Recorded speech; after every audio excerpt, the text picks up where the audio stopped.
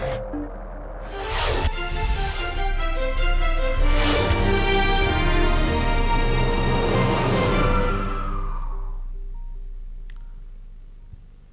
Buongiorno dal nostro telegiornale, sta assumendo contorni sempre più preoccupanti e per certi versi inquietanti il problema della carenza idrica in diverse zone di Civitavecchia. Segnalazioni a riguardo arrivano ormai sia dai quartieri del centro che dalla periferia. Intanto gli utenti esasperati per un'estate che sembra sempre più assomigliare a quella terribile del 2017 cominciano di nuovo ad organizzarsi il servizio.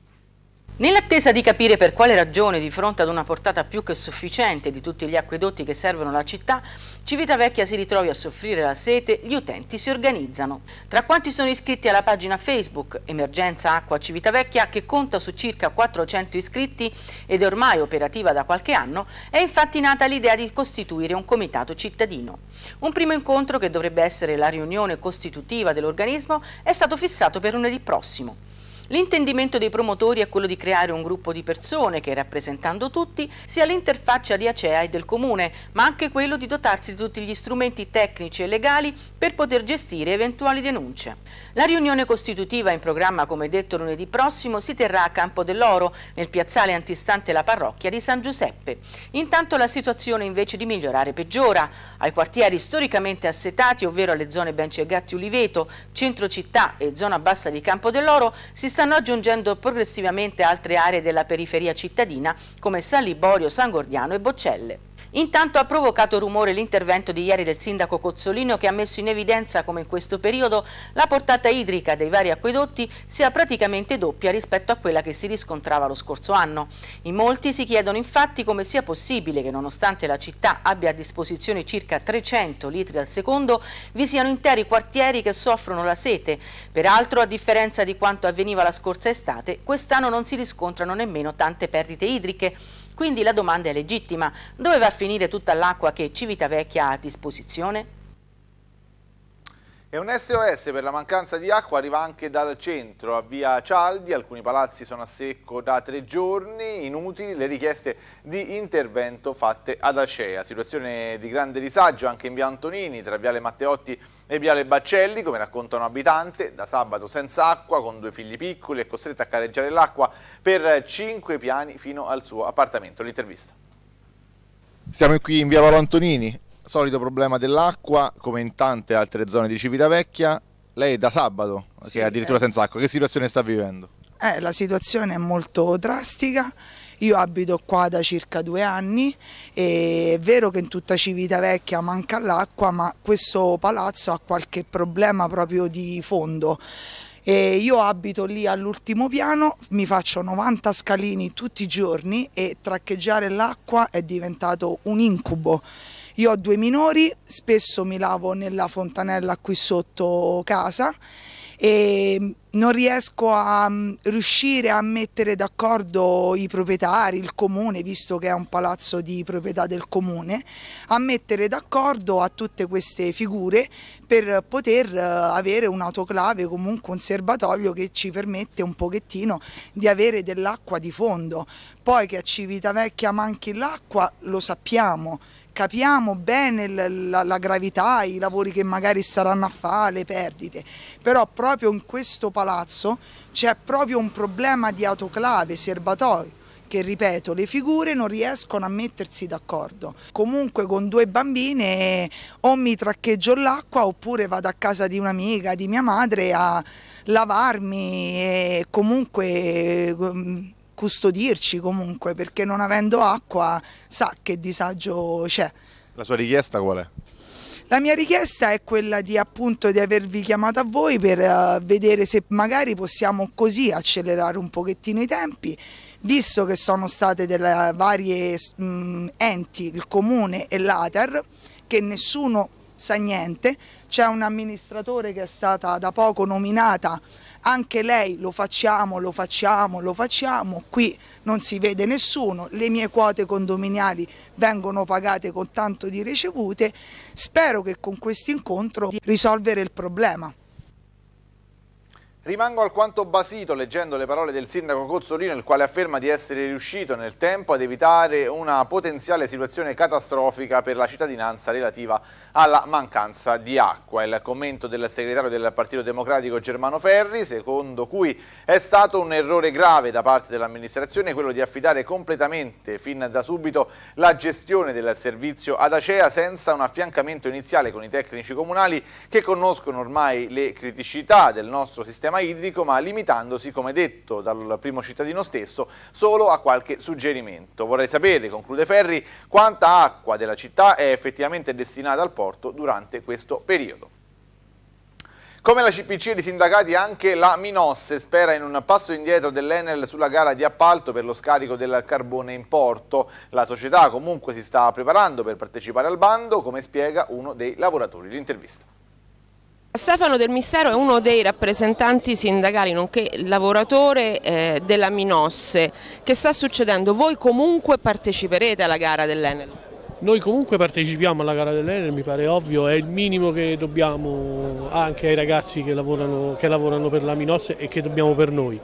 Stiamo procedendo nei tempi previsti da, dalla gara, anche se magari speriamo in un, eh, in un ripensamento da parte dell'ente organizzatore. Si è parlato tanto di una gara che contravviene alcuni punti della legge 84 del 94, in parole semplici che significa?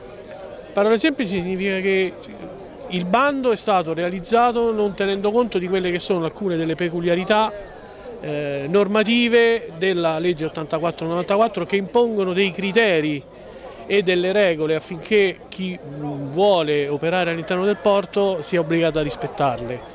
E, nel, uno degli esempi è la possibilità per poter ottenere avere un appalto, un lavoro all'interno del porto, quello che l'impresa sia già in possesso di un titolo autorizzativo che venga rilasciato dall'autorità portuale, senza il quale l'impresa non può operare.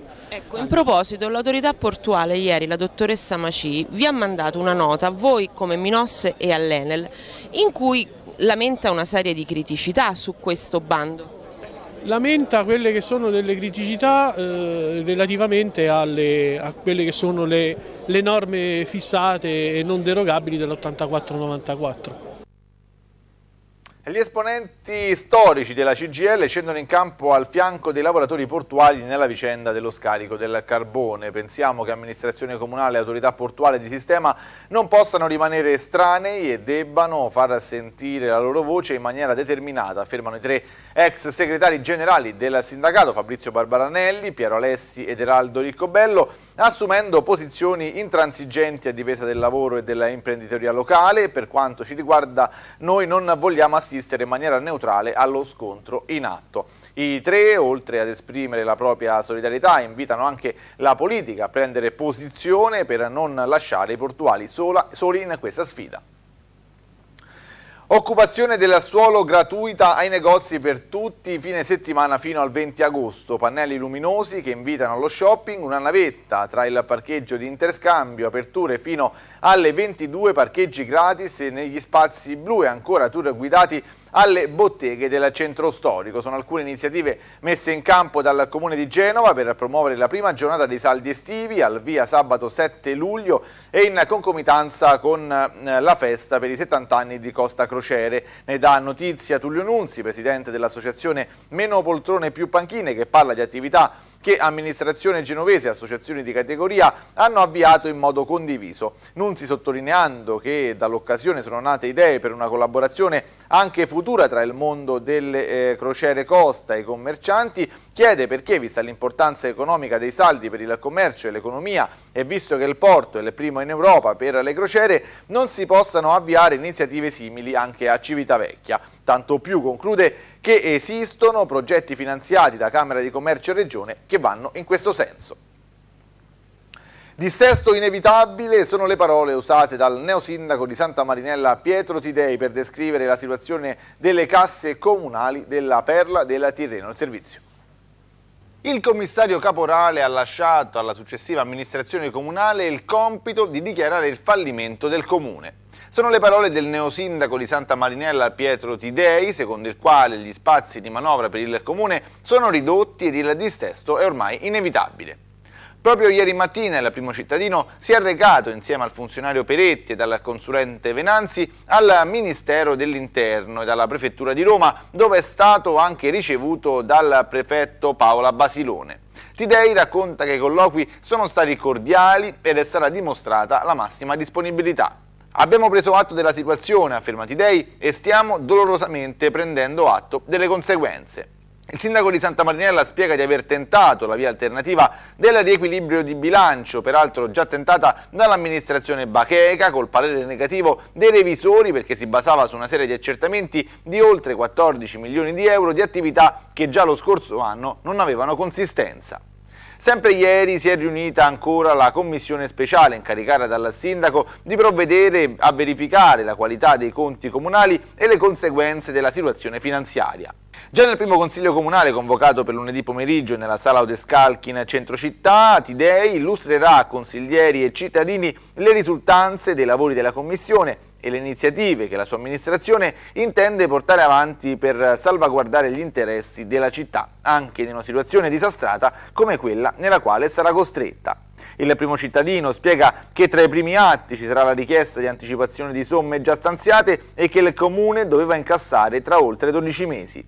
Questo per favorire, almeno momentaneamente, la gestione dei flussi di cassa e il migliore assolvimento delle obbligazioni dell'ente.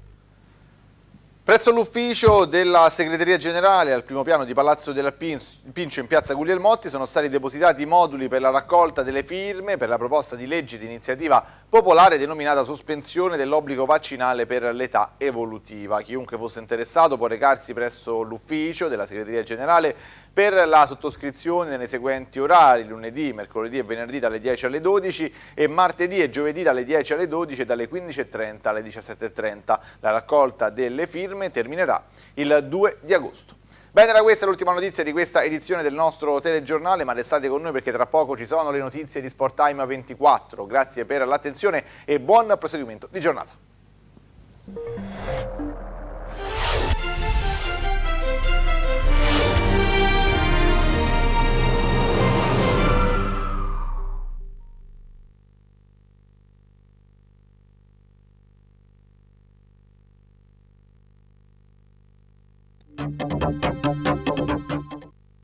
Avifer realizza porte, cancelli, finestre, infissi in alluminio e PVC. Avifer di Vigliante, Elvio e Luca è in via Nenna 9A in zona industriale.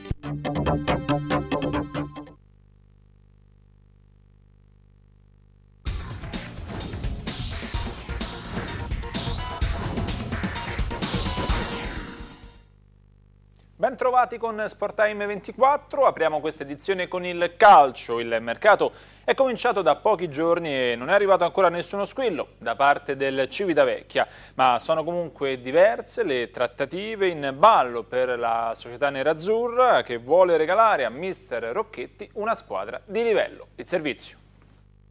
Tra giocatori non confermati e possibili arrivi, il mercato del Civitavecchia entra nella fase decisiva. Della passata stagione pochissimi saranno i calciatori che resteranno in maglia nerazzurra. Nencione è in procinto di passare alla polisportiva Monticimini, Gimmelli è in dubbio se rimanere o andare via, lo stesso dicasi per Marino, mentre De Santis è passato al Montalto. Sono andati via soprattutto per motivi di lavoro e di studio anche i giovani Gaudenzi e Forieri, il primo alla CSL Soccer, il secondo al Corneto Tarquinia. Ecco che quindi si aprono diversi buchi che verranno riempiti al più presto per dare ad Andrea Rocchetti una squadra già pronta per l'inizio della preparazione atletica. Intanto bisognerà capire cosa succederà con il portiere, visto che il Civitavecchia ha due possibilità, dare fiducia al giovane San Filippo, classe 2000, o prendere un portiere esperto. Servirà poi un difensore centrale da affiancare a Fatarella e Vincenzi se Gimmelli dovesse partire, con l'addio di tre carichi ufficializzato dalla CPC, scoperta anche la fascia destra di difesa, ma i problemi maggiori ci sono a centrocampo, dove è rimasto il solo Marras più tanti altri giovani della cantera. Lì bisognerà intervenire in modo sostanziale, soprattutto per quanto riguarda il settore over. Non dovrebbero esserci problemi invece in attacco, dove alla conferma di Cerroni si aggiungerà l'acquisto di Manuel Vittorini. L'attaccante ex Montalto è ormai ad un passo dal ritorno in nerazzurro, manca solo la firma. Il nome nuovo per rinforzare il reparto avanzato è però un altro, si parla infatti di un interesse per Lorenzo Zagarella, classe 92, con un passato importante in Serie D con le maglie di Viterbese Todi e Spoleto.